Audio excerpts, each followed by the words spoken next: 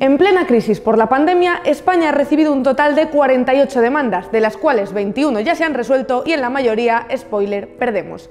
Pero ojo, que esto no es como perder la porra de quién se va a divorciar en 2020 con tus compañeras de curro jugando 3 euros cada una. En España ya hemos sido condenados a pagar 1.074 millones de euros, poca broma con las demandas, y como perdamos las que tenemos pendientes pagaremos un total de más de 10.000 millones. Vaya, que nos va a salir casi tan caro como la corrupción del Partido Popular. ¡Vamos! Aquí no hay nada que ver. Pero ¿quién nos demanda y por qué? ¿Por haber elegido el Resistiré como canción del año? ¿Por seguir emitiendo First Dates? ¿O quizás por el nuevo hospital de Díaz Ayuso? Vale, me habéis pillado. A esto último no ha dado tiempo todavía, ¿eh? La respuesta está en el Tratado sobre la Carta de la Energía, firmado en 1994 bajo el gobierno de Felipe González, el último, ¿eh? el que olía ya a gas natural. Hoy vamos a contaros quién está detrás de esto y lo más importante, ¿por qué coño seguimos en este tratado?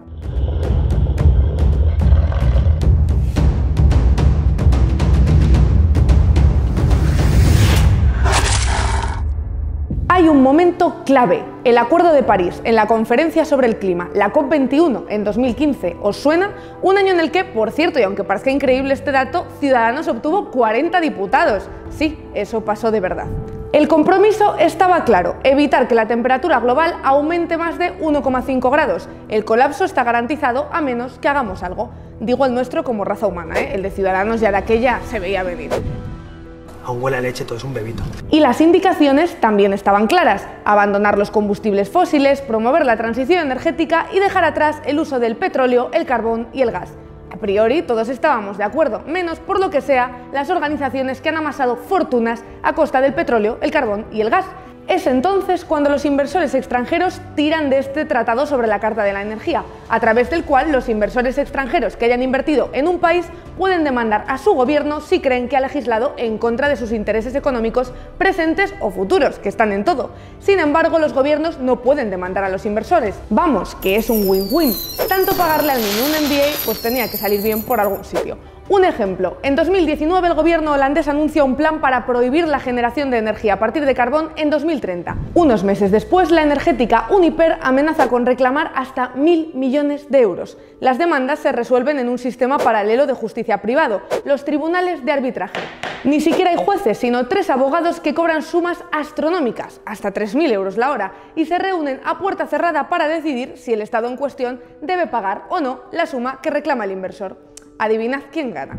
Llegados a este punto, muchas y muchos pensaréis, hostia, pues nos salimos y ya, ¿no? Que estamos haciendo el tonto. Bye bye, hasta otro ratito, ¿eh? Pues siento deciros que es más difícil salir ilesos de aquí que del Opus Dei. Si salimos solos, existe la llamada cláusula zombie. Los inversores pueden seguir demandando a los países hasta 20 años después de haber abandonado el tratado. Es como en The Walking Dead, podríamos tirarnos 10 temporadas huyendo de pueblo en pueblo fantasma y aún así siempre nos encontrarían.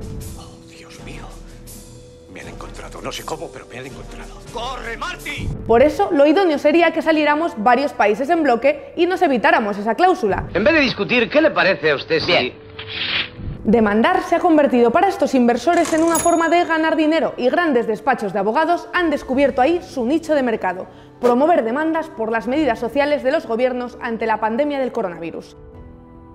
En España, la pobreza energética sigue creciendo y ya afecta a un 9,1% de la población según Eurostat. Sin embargo, las medidas extraordinarias adoptadas por la emergencia del COVID-19, como alargar el bono social o prohibir el corte de los suministros, podrían dar lugar a importantes demandas bajo este tratado. Si el Gobierno de España finalmente decide pagar estos millones de euros a las multinacionales por estas demandas, mucho ojo, que una posible vía de financiación sería incrementar la factura de la luz de la ciudadanía. Y eso que, por cierto, ya somos uno de los países de la Unión Europea que más paga por la luz. Vamos, que a este paso vamos a acabar todos llenando la casa de velas aromáticas del Zarajón. Algo similar se intentó ya con el fallido Proyecto Castor, por el que el gobierno de Rajoy intentó rescatar a las empresas incrementando el coste de la factura del gas. Y, yo no he intervenido en nada.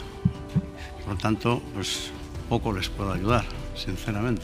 Si España decide enfrentarse a los zombies y sale ya del tratado, quizás estemos aún a tiempo de implementar una ley del clima a la altura de las necesidades del momento. Pero si pretendemos seguir así y no ponernos de acuerdo para salir de esta, me temo que seguiremos pagando muchos años más este tratado de la ruina.